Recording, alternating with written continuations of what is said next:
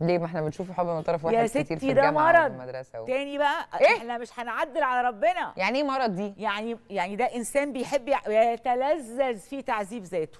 ليه؟ عشان بيحب حد ما بيحبوش؟ انه يتأوه ويتألم ويتخيل وي... أمل ده كلام خطير جدا. ده كلام علمي. ده يعني لما حد يحب حد ما بيحبوش لما حد يحب حد ما بيحبوش ده مرض. بجد بقى مرض؟ آه طبعا.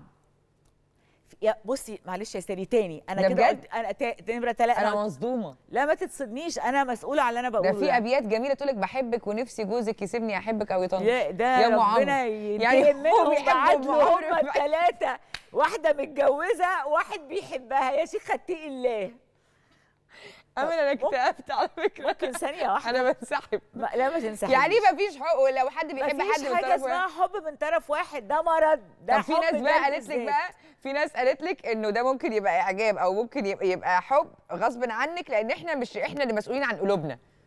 هو أنا حبيته غصب عني وأنا ماشية في الشارع. ممكن حضرتك تسمعي رأيي أنا سمحت. اتفضلي يا أستاذة. النهارده. اتفضلي يا دكتورة. اتفضلي. ممكن تجيبي حد تاني انت قلتي انت قلتي. حاجات. انت قلتي حاجات صادمة. لأن دي حقيقة. دلوقتي أنا بستدل مش بالعلم بستدل بربنا. آه. ربنا أقام الحياة الزوجية على أركان في صورة وبنصوص آيات. واتكلم عن الحب في آيات.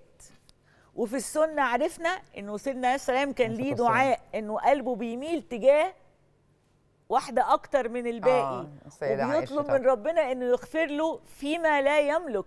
فيما يملك بيعدل. سبحانه. ده س- ده مين؟ ده سيدنا سيدنا النبي عليه الصلاة النبي والسلام. انت بقى تقولي اللي يحب حد زيادة.